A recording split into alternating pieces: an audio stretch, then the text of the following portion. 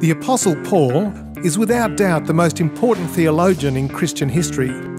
Yet rarely do we think about the physical conditions Paul had to operate under to bring the gospel to the ends of the earth. My name is Tim Foster, and in this series, I'm leading a small group of Ridley students for a study trip of a lifetime. hang on! We will be tracing Paul's missionary journeys not just by land, but by sea. This is following in the wake of Paul.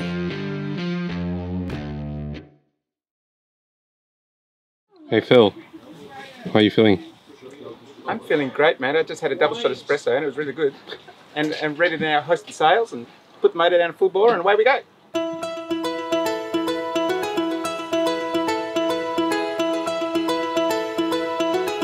For the last few days, I've been travelling with a group of students from Ridley College along the southern coastline of Turkey. What's been exciting is that none of these students have stepped foot on a sailing boat before. The challenge is to learn to sail and to see whether they can sail a boat for themselves. We've got two yachts, the Pollux and the Sirius, which are out of Fethiye in southern Turkey. One is helmed by myself, and the other by Phil Newman, Senior Minister of Glen Waverley Anglican Church in suburban Melbourne. As we sail along this coastline, we're following in the footsteps of Paul, who sailed along here 2,000 years before us.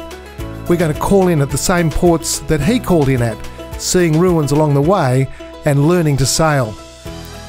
Well, with students settling into sailing life by day three, I decided it was time to mix things up a bit.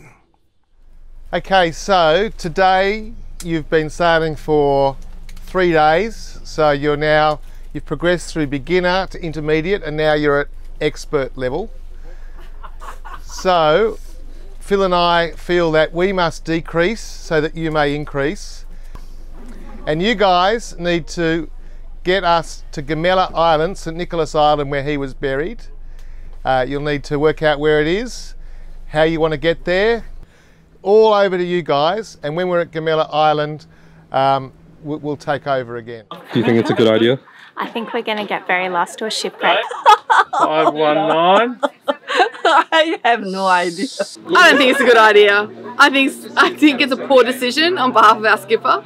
I'm going to go out there with that. I think I think we're going to die.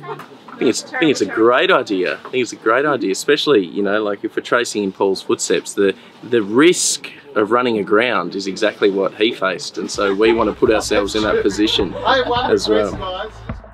Phil and I manoeuvre the boats out in open water. Then it's time to hand the helm over to the students, and our challenge begins. I'm starting to feel a little bit hesitant. I hope this was a good idea. It felt like a good idea when we were safely docked in port, but we're committed now. Straight away, Pollux found that it had problems with the boat's navigation system. Ah. Oh, that sun is so hot. There you go. Mate, if you want to get that going, You know, I know, I'm okay. Yeah, you you drive this. yeah, I'll drive for a sec. We just want to I'll be at the helm. I'll be the helmsman. just want to not sit still. Well, come on, get on. the route in there. So six hours. 40 miles, guys. 40. Hang on, Scott. Do you want to do it just until I figure out where we're going? All right. That's six Okay, so I, I decided we needed to vote in some leadership since we've lost our skipper Tim. So we've all taken a vote now, and we've put Scott in charge as the captain of the ship. We've got Dave as first mate, Danielle And and, I- navigator. and navigator, and Danielle and I are assisting. We've given um, Tim the illustrious role of kitchen wench. We've secured him downstairs now. He needs to get permission to come up here. If I'm feeling pretty confident with our team. I think we're gonna do really well. They've assigned me as captain. I think it was a very wise choice, personally. Ah, because I've got a lot of leadership experience in police and army. I've, I've never actually sailed before, but other than that, I think I'm okay.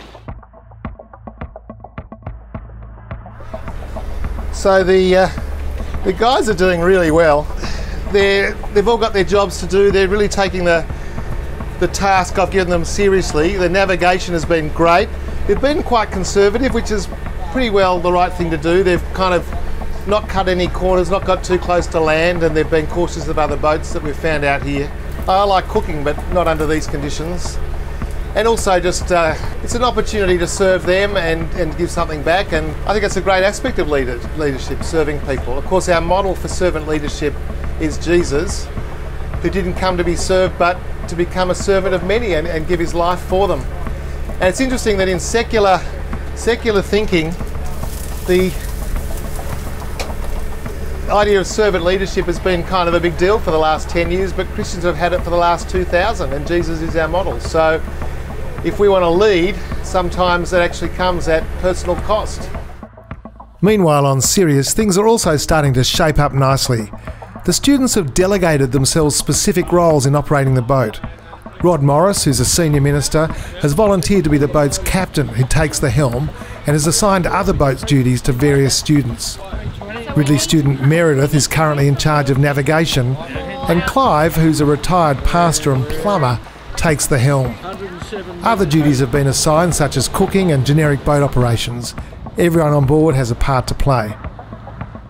Uh, we've had a fairly straightforward sailing morning. I'm not in a competitive spirit. Uh, this is about us uh, sailing and working to our ability and um, enjoying our company. We've had some good conversations and uh, a delightful morning.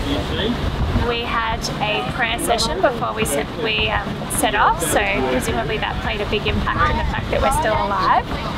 And apparently we were 45 minutes behind the other boat, which is Dr. Foster's boat, so that was very disappointing. The students and Pollux are making good progress and are literally miles ahead of Sirius. Confident levels among the students are at an all time high, but we all know that pride comes before the fall. Yeah, the update is the other, as we thought, the others have stopped for lunch. Um, even though some of the crew I think are a bit peckish, a bit hungry, Dave and I have made a decision, first mate and myself, that we're going to press on for a bit more, get a bit of distance between us and them. We're loving the blue water. I don't know if you can see this, but it's the most stunning water that we've seen on trip. Beautiful aqua colour, beautiful beach off to our right, and why wouldn't you just take the opportunity to press further ahead? And we can't, we can't even see them. We look back there, they are that far behind us, we might, uh, we might as well not call it a race anymore. I think we could, uh, if they were handing out the, the Victor's Reef that we learned about, uh, in Revelation, they, they would be ready to hand that to us now. So how important is it for you to win this race? Uh, look, on a scale of 1 to 10, it's probably sitting at about a 9, 9.5. This exercise was introduced to the students as a leadership challenge. No one ever mentioned that it would be a race, but with their huge lead, the students on Pollux have decided that the team can afford to take it easy anchoring in a nearby cove for lunch. All right, drop it, Scott. Drop, it.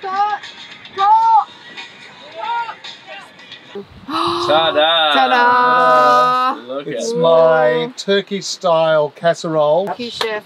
Uh, my pleasure. Please enjoy. I'll just go and get a serving implement. Our peaceful lunch was short lived as students on the Sirius suddenly appeared around the headland, picking up speed and drawing ahead of Pollux. We're looking good, Rod. Fearing for their egos and ambitions, Team Pollux makes a hasty end to their lunch plans and pulls in the anchor. The situation is tense as she cuts close to the land and the boats are now neck to neck. Over there. And then there's one in between. With the island destination now in sight, it's all hands on deck.